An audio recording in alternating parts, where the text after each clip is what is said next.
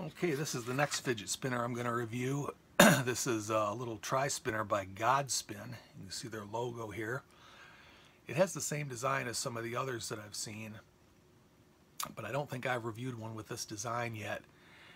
And it seems like a really well-made piece. It uh, It's painted black or use some other technique to get it black, and then it's got the uh, high spots buffed to steel and it feels pretty nice. It's on the it's on the small side, but it uh, it feels pretty nice. I have no idea how long it's going to spin. I can't really get a feel for that. But uh, that's what's up next. Godspin. Oh, this is called the Poseidon, I guess. Yes, it, it's called the Poseidon. So we'll check this one out next.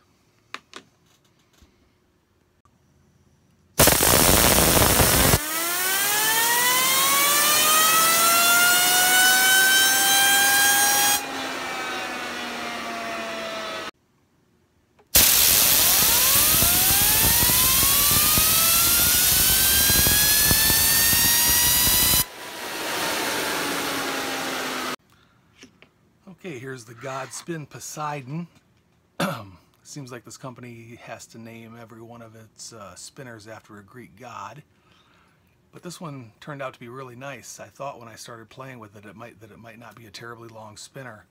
Turns out it is a pretty good long spinner. It uh, got an average spin time of 7 minutes and 30 seconds, which is very, very good.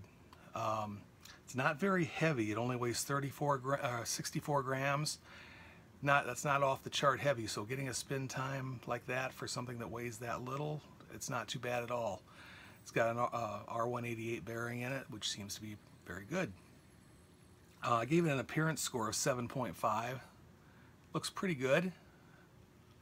I'd say worth worth some note. Um, gave it a feel of 8.5 fortunately, the really good thing about this one is it does feel really good. Um, it's one of those ones that you don't miss too often when you try to throw it or pull it. And it's got no wobble to it, no thumping when you turn it side to side. And uh, I gave it a perceived quality score of 8.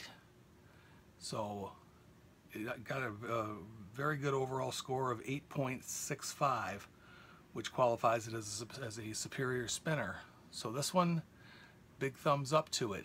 Um, if you like these little tri-spinners, medium-sized tri, tri-spinners, this one's a really good one to get, and they do have them on Amazon, and I believe they have them on eBay also.